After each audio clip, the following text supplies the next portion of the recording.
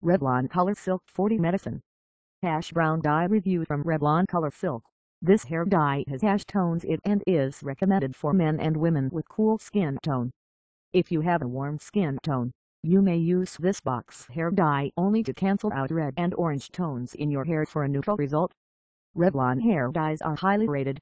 This one commands a rating of 5 stars out of 5 on Amazon and drugstore as well. Other pros it has include being ammonia-free, radiant and rich in color. It should however not be used on hair that is anything like light blonde. If you use it on dark hair, you are likely to end up with a darker shade.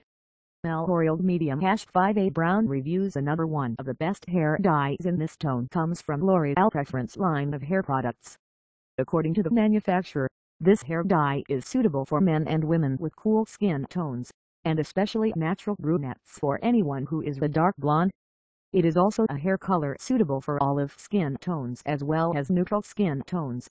When dyeing your hair with this L'Oreal dye, ensure you your hair was not previously dyed the darker shade than medium brown or if it is lighter than natural medium blonde. If you do, it will end up with a greenish tone in it. Garnier Nutrisse 51 Ash Medium Cool Tea Brown Review Garnier Nutrisse 51 is a cool toned medium ash brownish hair dye.